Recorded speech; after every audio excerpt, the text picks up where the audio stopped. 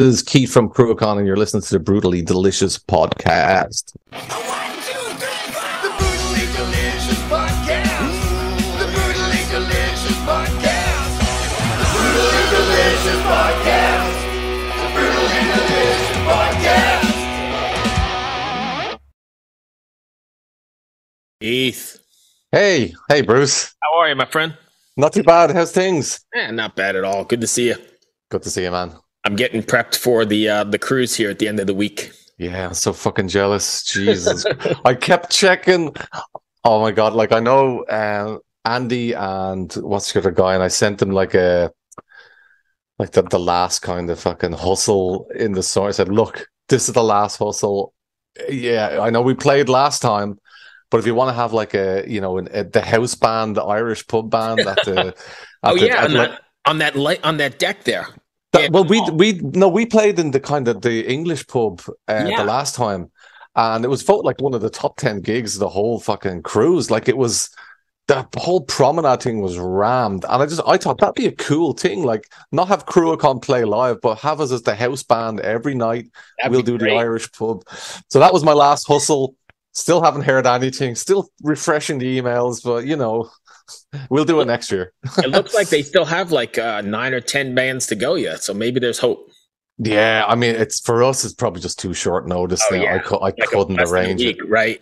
Yeah, and they do that. I know when Ereb Altor played the same year we played, the lads from Ereb Altor got them the notification a week before sailing, Really? and they're yeah, and they're like, Keith, what do we do? Like, uh, what do we need visas to? And luckily, I was there to actually help with these questions, just to help expedite their whole fucking thing. But they got there in the end and had a great time. Yeah, I'm looking forward to it. It's and especially after so many years, it's gonna be nice to Yeah. to chill with the metal family anyway. Oh man, it's just the best experience, isn't it? Seventy thousand tons. It Yeah. really fucking is. I agree. Anyway, thank you for joining me. I appreciate it. Let's talk about Cruachan. Let's do it. So the living and the dead is done and ready for release. Uh, how do you feel about it now, and are you satisfied with the outcome? Oh man, I'm so so happy. Like I couldn't have it couldn't have went any better. Like Cruachan is always just chaos and tumultuous things happening that a lot of the fans don't see in the background. And I'm always like so many balls in the air trying to make things happen. So I mean, COVID, look, COVID came along and affected everybody, but it was also at the same time we went through big lineup changes and you name it.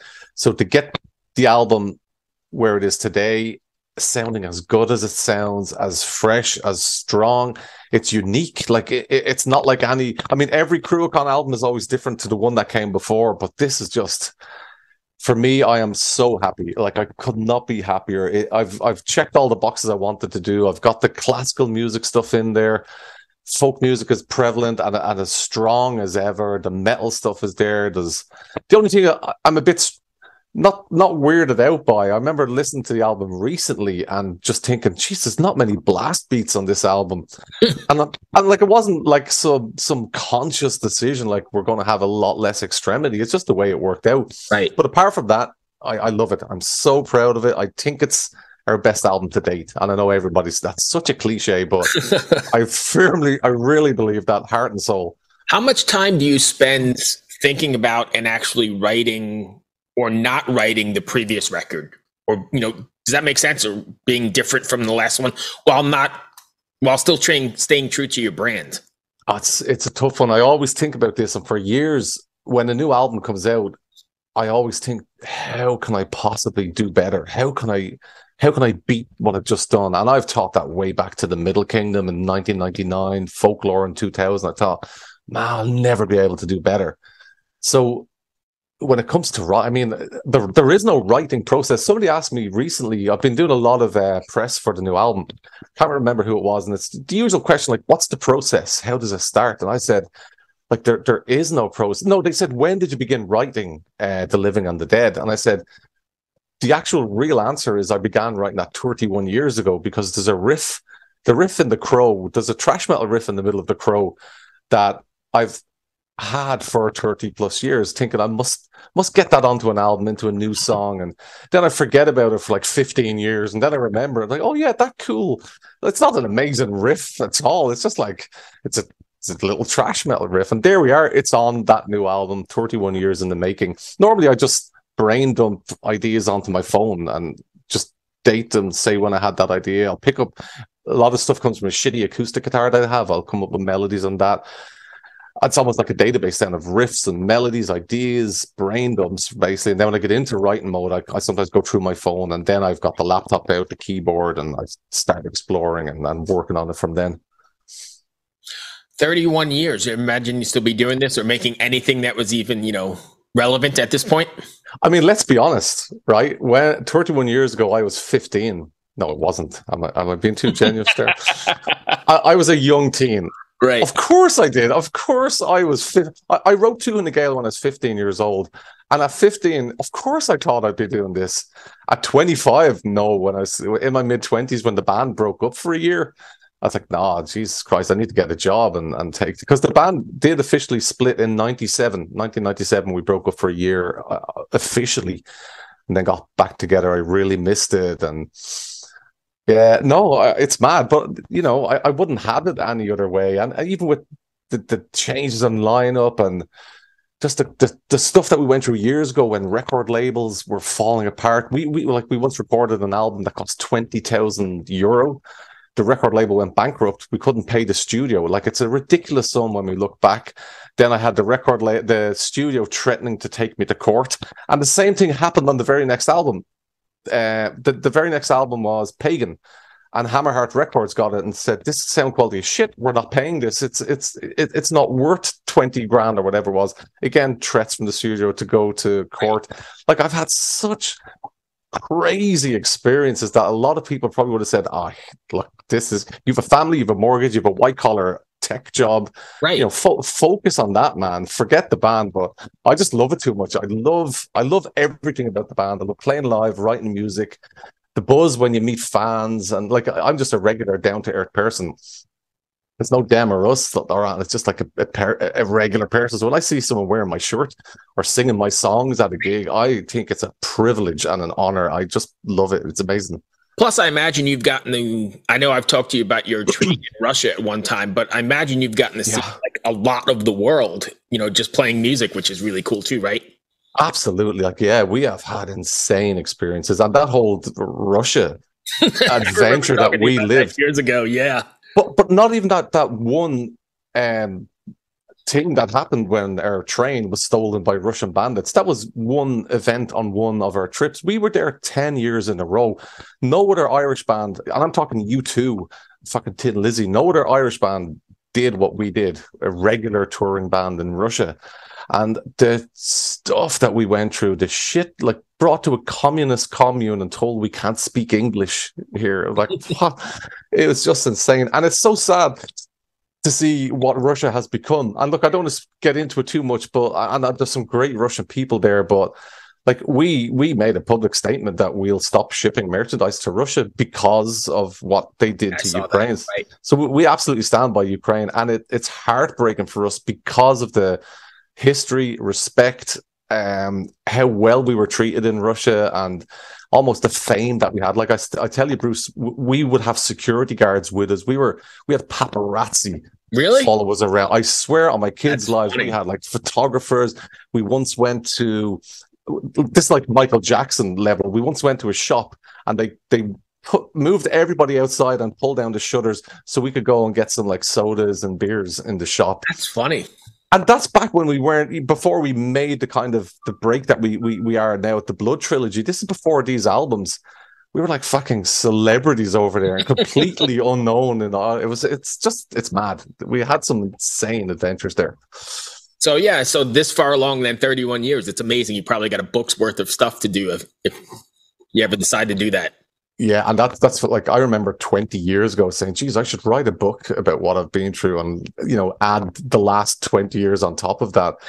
even like things in um in South like you know, it's even hilarious stories. We we played Sao Paulo once and there was a big um meet a meet and greet was arranged and I don't know what what the issue was. But when we when we went to the meet and greet, there was a hall our seats are there. There's some nice velvet lines, you know, the the ropes for people Mhm. to queue beside. One person showed up. Really? to the meeting. One person. So, so don't take this the wrong way. Was it like Spinal Tap? I was just I I remember just feeling so embarrassed. I just couldn't make eye contact with people. I was like, please, world, just swallow me up right now. This Right. is so embarrassing. Like And if there was five people, it would have been, you know, I, I could the, fact that there was just one. Oh my god. But then the dichotomy of, like you just said, you're a paparazzi following you in Russia, and then know. and that's really crazy stuff. Uh, that that's it. Yeah, you take the good with the bad. Uh, but I mean, that was a small little tour of South America, which was amazing. But the show in Sao Paulo was fantastic. I mean, they have Uh, rabid fans down there, right? They're rabid metal fans. Yeah, geez, when we went to, I, I tell you, Santiago in Chile was out of this world. Now, the, the show wasn't advertised great. There wasn't a huge turnout for us, but just walking along the streets and just every second person is wearing a Metallica, an Iron Maiden shirt. It's like the, the, the metalheads outnumber just the regular Joes there. It's fucking, it's a crazy, I've never been to. South America, but I've seen, you know, I've talked to people numerous times, and they always say, "Hey, the, the crowds turn out down there, and yeah. they're very Yeah. supportive." Oh yeah, Brazil and Argentina was great, but uh, now apparently just the promotion in Chile was a disaster, so it wasn't a very fun. Me- the, the gig was fantastic, but it's just you travel all that way, you want fucking thousands of people there. So when Right. that doesn't happen, you're like, oh okay. But no, Argentina, Brazil, perfect. So let me ask you a question.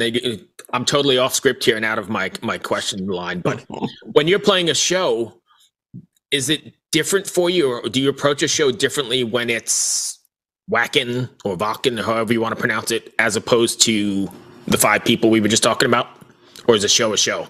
You, you have to do you, you just you no for us personally no we, we, we see no difference. Um and, and for me personally when i got on stage i'm probably focusing on the few hundred people in my line of sight.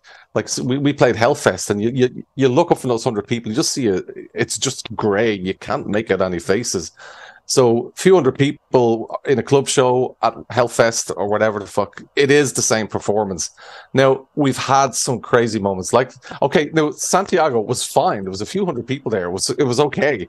We've had shows on european tours like in italy where there was 10 people. 10 people in a hall that could maybe hold a thousand. So does that make it difficult to go out, or It- does it? it it fucking does. You feel you feel I, well i feel stupid. I'm like like how has this happened? Now every, every time there's a reason the, the tickets didn't sell. It's a big festival. There's bigger bands than us but they didn't draw the crowd. We're a smaller band. Not our fault. But it's still it's fucking horrible. Just like oh. And those 10 people have paid. They're like right. At the end of the day, that's their you know. money. They worked for that, right? yeah, yeah. So you you have to put on the show, man. You have to just fucking treat it as any gig. And sometimes like that, a band like us, when we have those moments, luckily there's been very few of those happen. But when they do, you you fucking embrace it. I was jumping down, just walking, you know, the wireless guitar system, just like, hey man, how, how, how are you? Thanks for coming. Nice shirt. And they, they love yeah, you have to just have have a laugh and really go with it. I mean, there, there would be a lot of bands that would probably just turn around and point blank say, I'm not playing. Or they just go through the motions on stage and stand there embarrassed. Fuck it. Just, you know, Well, Have- yeah, like I was saying, those people paid their money though, and you know it's not their fault that exactly. their friends didn't show up. So I guess they want the show. You got to give them Yeah. the show, Yeah, yeah, 100%. and they're going to buy merch or whatever. So it's at least gas to the next venue. Well, there you go. yeah, yeah. Maybe I don't know what gas costs over there, but beer, Beer money. yeah, beer money. Um, now that the uh, the, the record's done, are you going to do the uh, the new m- music business model of like a single every four to six weeks, or you just a couple here and then the album? That's exactly what we're doing. So this is new to us. Despotz Records are fantastic. Like they're the, the biggest, pretty much rock indie label in Sweden. They, they've got like Swedish household names, you know, that are just fucking superstars, and they have this great model of. Uh, exactly that promotion is is second second to none. So I'm not saying anything bad about a previous label, Trollzorn, but they were very focused just in Central Europe, mainly Germany, Austria. Everything else was, you know, the promotion was really up to us. Now we're back with the likes of the Candlelight records, the Hammerheart records that we had in the past. Despotz are very similar the way they work, which is things like the, I've just interviews lined up that I haven't had that in a number of years. It's me that had to go looking for interviews. So that's exactly what they're doing. Um, this is new to us. making videos is is a big thing for us. We we did one, um, two maybe in our history. Now we're doing like three in the space of a few months, which is a But it has to be done. It has to be done. Especially in this culture, yeah. Oh, it's it's just painful. Like it, it, I, oh, like I'm not gonna. Hey, videos are great when they're done. Like I'm really happy with the way the crow turned out. I think it's got a cool vibe. Oh, I hate it. Like I'm the producer. I have to get these people. I have to put the people in the room. Oh, you're I'm doing like- it? Yeah, yeah, yeah, yeah. So I saw something online. You guys are doing is that training in forgive me, I don't know the actual terminology, but is that training in sword fighting? Yes, yeah, that's cool. So that's the video shoot we've got coming up this weekend. Again, it's a big production. We've got like the best reenactment guys in Ireland, and they're training us. So when we do the sword fighting in the video, it will look just a So bit more all authentic. in, right?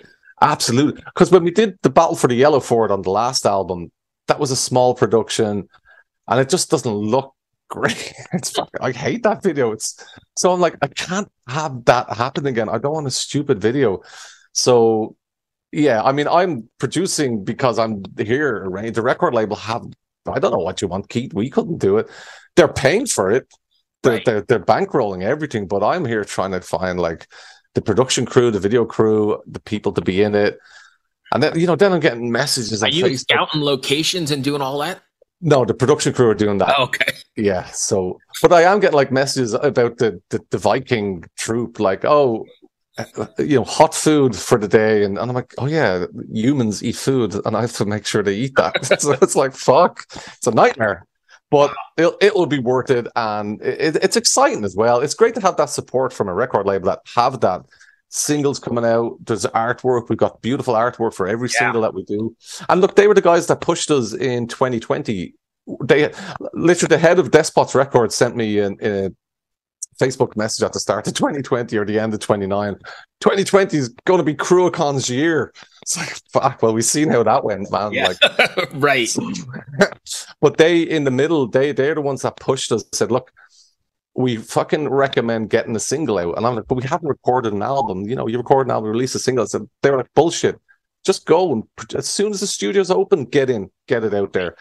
I was a bit apprehensive, but in the end, it was it was such a great idea. We got the Hawthorne single out. The interest in Cruachan, boom, was back again.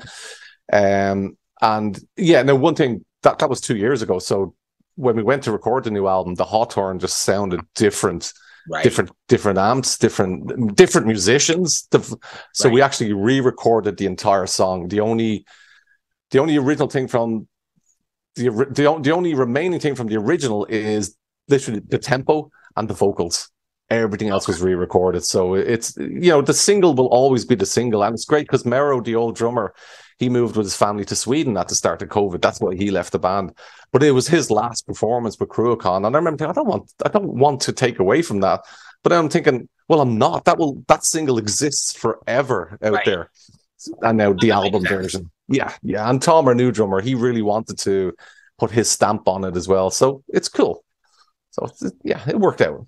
That makes a lot of sense. Um, I do appreciate that you're doing the an album because I think as an old school metalhead, I I like the full physical release album. What it is? Mm-hmm. How much effort goes into sequencing, right? Because that's a whole artwork, a whole art in itself that I think is lost in the generation now, right? What do you mean by sequencing? Like the songs in in order, how you going to put oh, those? Oh god, oh man, yeah, how they flow, and the moods you create, and that sort of thing.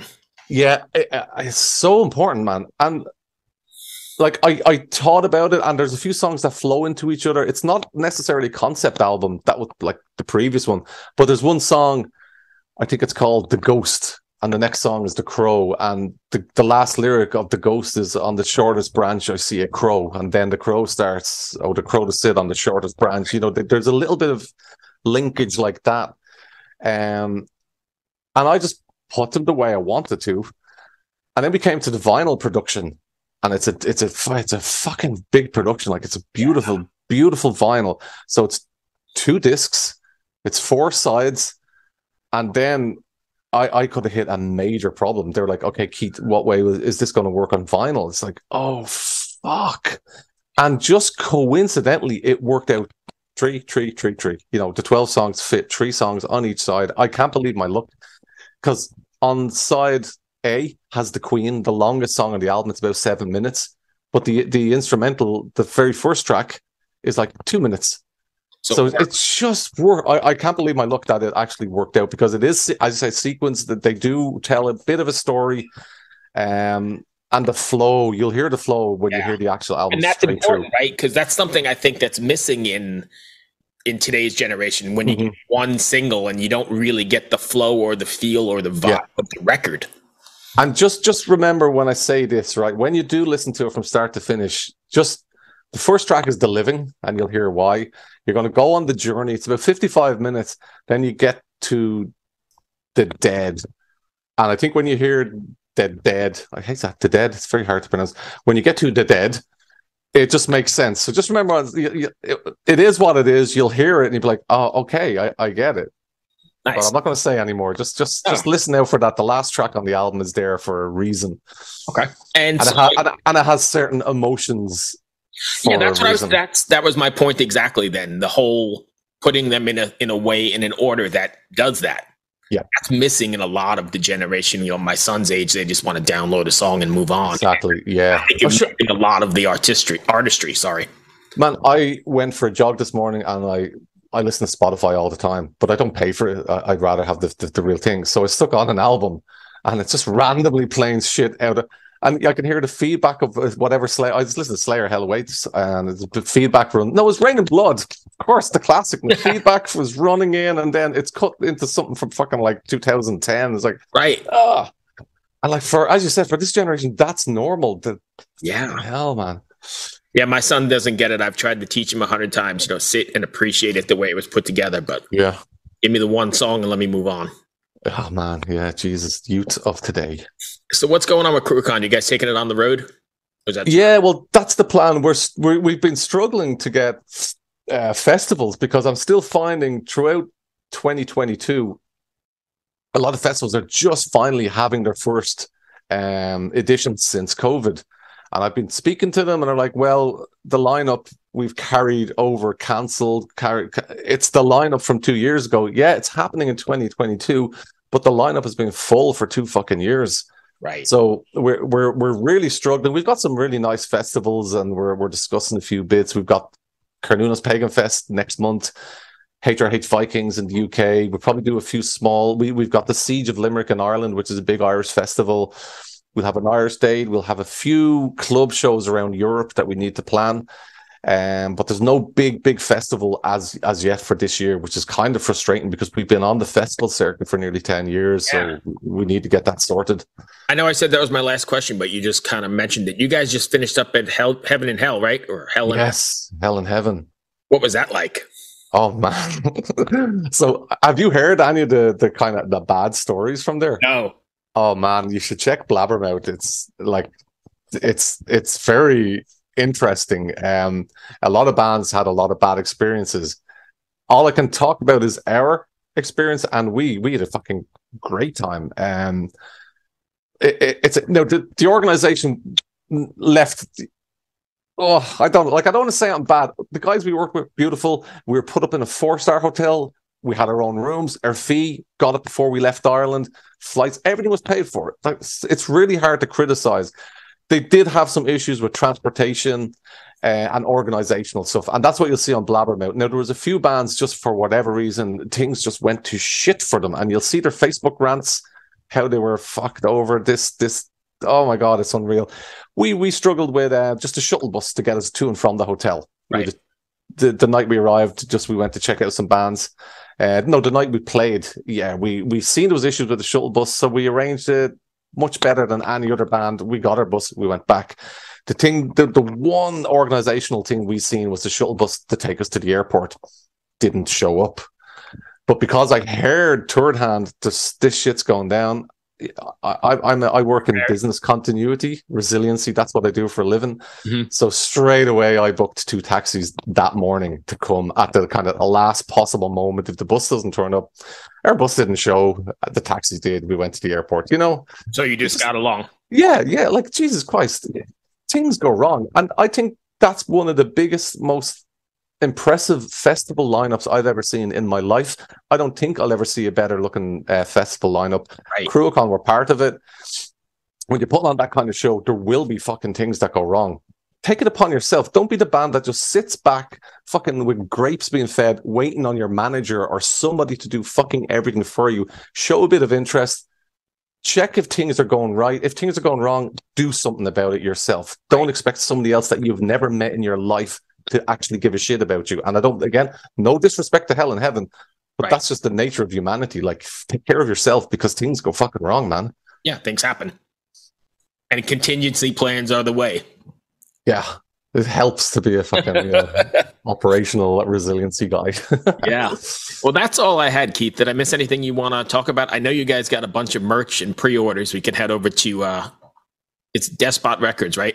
yeah, yeah. So we're doing a cool um bunch of merch and, and different packages. One cool thing, uh, Despotz bought the rights to our back catalog with Hammerheart Records, the, the, the classic Cruachan albums.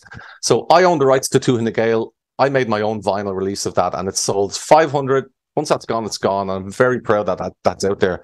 Despotz have bought the Middle Kingdom, Folklore, and the Pagan albums. So they're going to get a big, big uh, CD re-release, vinyl release for the first time, T-shirts, merch, you name it. So that's all coming down the road, uh, and I cannot wait because people have been screaming at me at concerts and emails and, and Facebook Messenger, like I want a physical copy of these albums, like especially the one with Shane MacGowan. Shane MacGowan's such an Irish legend. People want the folklore album that he sang two songs on. You you physically can't buy it unless you go to eBay or Discogs and pay ridiculous prices. So Right. They are coming. They'll be on the Despotz Records website, along with the beautiful artwork on that new album. We have T-shirts, back patches, all the beautiful merch. Yeah, So things are looking up for Cruachan in 2023. That's good. I'm I'm glad for you, man. yeah. Cheers, Bruce. Thanks so much.